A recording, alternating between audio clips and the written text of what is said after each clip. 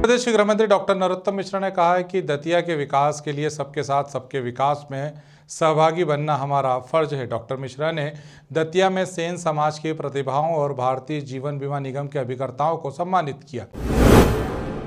इस अवसर पर उन्होंने कहा कि दतिया के सर्वगण विकास में सभी समुदाय और समाज का विकास निहित है। वे दतिया के विकास के लिए अपना फ़र्ज़ निभाने में कभी भी पीछे नहीं रहेंगे।